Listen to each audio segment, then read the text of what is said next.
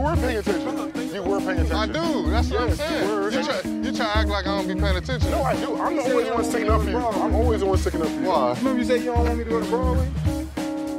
Come on, let's, let's, let's just get it up. I said that. I said that because I feel like you'll be talking during the play, and I want you to respect the performance. Okay? I'll get you. I'll, bro, I can't be just sick. I, bro, it's actually. I got bad knees. Bro, it's, y'all be amazing. Knees start hurting. Hard knocks, y'all hear this? How much? How good. I want to go to a Broadway show. I want to eat a coochie board.